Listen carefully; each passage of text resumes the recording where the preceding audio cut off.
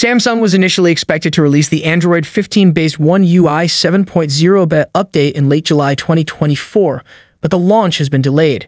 As of now, the update is still pending, with reports indicating it may take some time before it's available. However, this delay could benefit Samsung users as One UI 7.0 is anticipated to introduce some of the most significant improvements in the company's history. According to reliable tipster Ice Universe, One UI 7.0 will be Samsung's largest upgrade yet, focusing on improving system stability, smoothness, and enhancing the fluidity of animations and transitions. Additionally, Samsung is expected to launch the Galaxy S25 with One UI 7, likely version 7.1. The Galaxy S25 Ultra is expected to showcase exceptional performance with One UI 7, thanks to the synergy between Samsung's software, the Snapdragon 8 Gen 4, also known as Snapdragon 8 Elite, processor, and 16 gigs of RAM, this upcoming Qualcomm chip is set to be one of the most significant advancements in recent years. Samsung has rolled out version 16.0 of its Home Up app, now with support for One UI 7, thanks to an early look provided by tipster Vince Lawrence.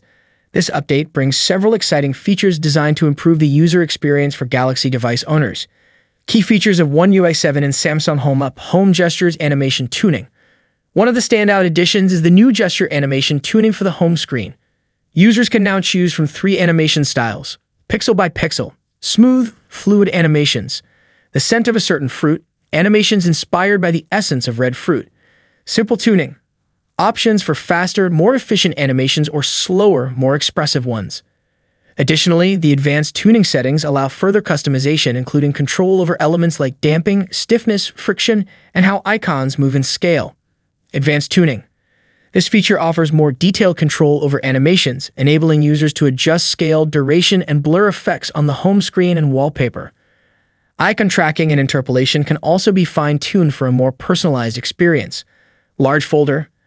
A new large folder option has been added, giving users the flexibility to choose between medium and large folder sizes. The existing large folder sizes remain unchanged, but users can now customize the folder grid and icon sizes for better organization. Pop-up folder. Pop-up folder functionality has also been enhanced, offering small, medium, and large size options. Additional settings allow for variable sizes, fixed positions, and the ability to hide the edit bar or remove blur effects, providing a cleaner, more efficient interface. These updates aim to make the home screen more customizable and user-friendly with a variety of new options to personalize the look and feel of Galaxy devices. Thank you so much for joining me in this video. If you enjoyed what you saw, don't forget to give it a thumbs up and hit that subscribe button below. Peace out.